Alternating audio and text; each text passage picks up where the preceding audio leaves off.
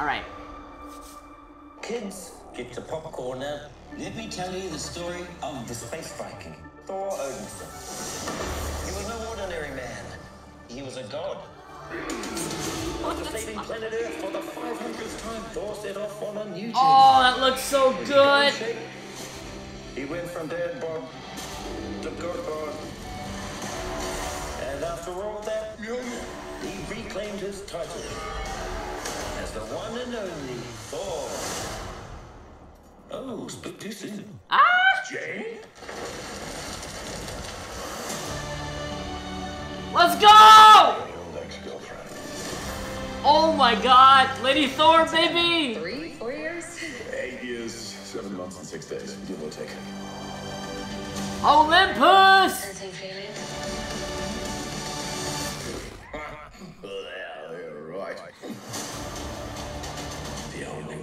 Who gods care about Thor! is themselves. Ah! Oh my god! All gods will die. Oh!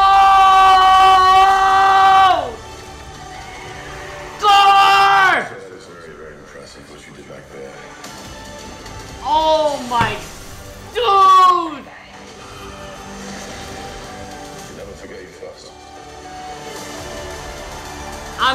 freaking out.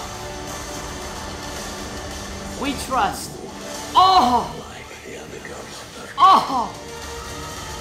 that's something worth fighting for.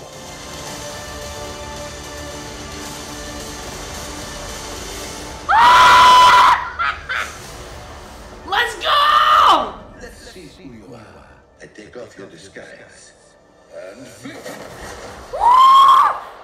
Oh, Flick too hard!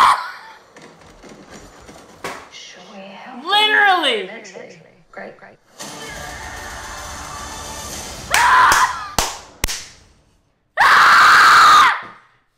Let's go!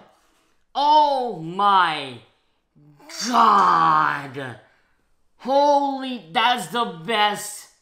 That is the best freaking Thor trailer I've ever seen. Dude. Ah. Oh, so savage. Oh, the movie looks so good. The Gorr the God Butcher looks freaking incredible. That dude looks so menacing. Oh my god. Y'all. Yo, my, my hype went from like 80 to 200. Easy. Oh my god. Y'all, that, that, I cannot believe what I just watched.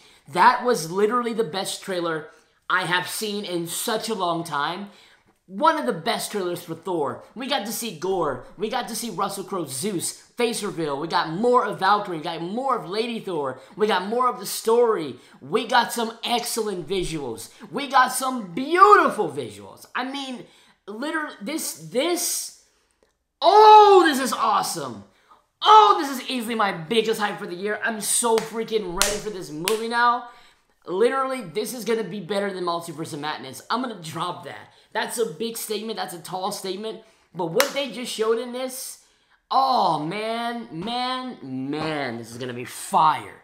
This this is straight heat. Thor: Love and Thunder, baby. The hype train has started. It is it is here. Yo, I am freaking out right now. I can't. Gorr looks so phenomenal. Gorr the God Butcher. That was the reveal we wanted for such a long time, and we finally got it. Gorr the God Butcher. He looks so menacing, so dark, so lifeless, emotionless. Like he's just ready to kill. He looks like a big time villain. That was one of the things I wasn't too fond with Thanos. He looked like he kind of looked a little goofy, like in like like a purple. He didn't look too scary. He didn't look like like he was really evil. He just looked like he was a weird creature from another. The, Gorr looks like he just wants to just like kill. He it like death, like the like the pale face, the outfit, the sword looks great. The weapon, that planet that he just just destroyed or whatever he was on, the rock.